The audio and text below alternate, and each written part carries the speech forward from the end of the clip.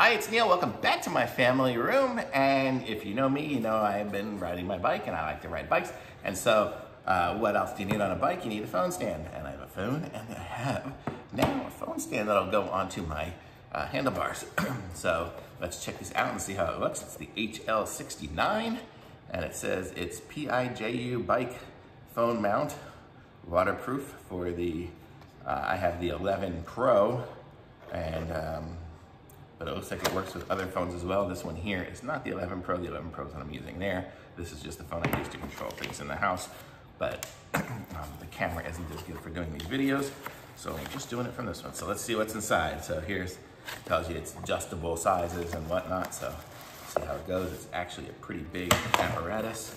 So let's see what else in the box. So it comes with a, it's a little metal plate. I'm sure this was what gets magnetized you put that on the back of your phone to magnetize it to connect it up to there. Comes with a little Allen wrench to tighten things up.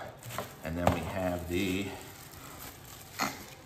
the bike mount part here. So this is where it'll connect up around the, how does it open? Um, let's see, I have to push it to the side or something. Well, I'm gonna have to read it, but this is where it'll go around the handlebar and then you'll be able to clamp it and twist it closed and make it tighter and looser. So that'll be nice. And then this is where, this is kind of cool because this is what I liked about it was it was adjustable to, so you can make it up high or down low. Hopefully there's ways to tighten it. I think that's what the Allen wrench is for. Not that side, that side's the, the bolt, the end of the bolt. And then I'm guessing this is gonna be the, the Allen wrench side. So once you get it to the right location of where you want it, this. So once you get it to where you want it on the bike, you can put it in here and tighten it up like that. Oh, and now it won't go anywhere. So this top one does, but the bottom one doesn't anymore because I've tightened it up too much. So that's how that's gonna work. So you'll set it to where you want it to be and it's gonna stay there. So let's see what the rest looks like here. So this is the uh, case here. And Got all sorts of stuff inside of it, so let me open it. so opening it, the little clips on the side here, and then it opens up this way, like this. And then we have this thing here with a bunch of springs on it, which I'm guessing is going to be in here on these. So let's put these on here. So you have the springs. Uh, I should be holding it up a little bit higher so you guys can see. The springs on there. and then this goes on top of those springs like that. See, so now, did I put it on backwards? Turn it. Well, now all the springs came out. All right, let's see. So let's show you what you do here. So to make it work, you put it on the springs onto these. I guess it's really not gonna matter which way, up, up or down. So I put those on, and then I put this little magnet piece here. And then once I have the magnet disc, what do I do with little disc? This disc here. It'll be on the back of my phone. It'll be in this slot here. See, so it's kind of adjustable. Put the phone here so it'll line up with the hole out there. And so the way it kind of works is you see it's pushing, it's like spring loaded that. So then when this is on it, I even have a case on mine, but let's just line it up.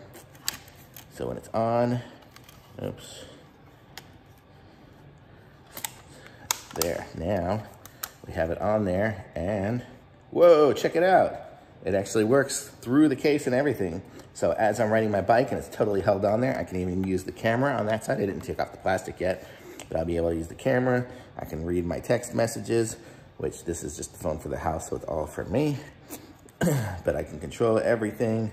If I wanna go in there and open up my garage, I can do that from here. So I am golden, so it's really nice. I like the way it just pushes up against it. So you can put any phone in there, even in the case, and it works, which is sweet. And then you'll see this will connect up to here. Probably need to loosen that up. There, there, now that's in there. Tighten it up wherever it goes. And there you go. Then you have this, the phone mount, waterproof, nice case mount and it's gonna sit there and work with any phone. Right now I put the iPhone, um, I don't know what this one is, the 11 Pro, but it'll work with, or no, this is the iPhone 10. Um, and then the 11 Pro will fit in there, I'm sure, just the same. If there's any issues with it, I'll put it in the comments. But wow, this thing's awesome. And it clips on all the different ways around here, around the sides and around the front. So it is good. And it'll be connected up. So really nice. Leave that thing connected up onto my on my bike. I won't will definitely not have it quite so quite so high up there. Probably something like this, so it'll be lower. But really nice, really well made. Man, this thing is nice. Now I've got it tightened there, and I'll tighten those other things with this with the with the hex that it came with. So really, we are good to go. And it's so nice that I can play around on my phone while I'm going. I can sit there and do it, see what the camera looks like. There's my camera. camera works. So you can see me through there.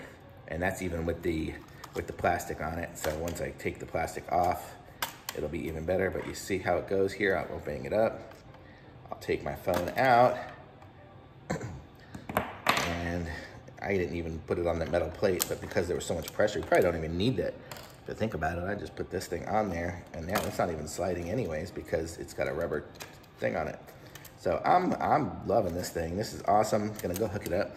It would probably work on a motorcycle or on a um, anything that you have. It's way stronger than I thought it was gonna be. I was wondering what that little magnet was. I'm like, is it gonna really connect up with the magnet? Because I have some magnet mounts that use this little stuff here for the um, in my car that use these little things here so I can have the magnet on the back and connect it up to the car. But man, nothing as good as this. This is really nice. Totally surprised me. Wasn't expecting it to be anywhere near as good. It looks like it's pretty well made here. It's got the little plastic cover and it seems, I think it actually has a plastic, I can peel it off of it. So right now you see it's kind of fuzzy. So there, that'll make it even clearer. Now let me take off the one on the back here too. There, now the plastic parts of it are actually see-through. so let's open this up here and I'll show you what it looks like again when I have it on there now without the plastic coating on it. Someone's at my front door. But there, so you can see, and there, now it's so much clearer, way better uh, view because it's just nice and crystal clear and everything works. So it's good. I guess I better go get the door.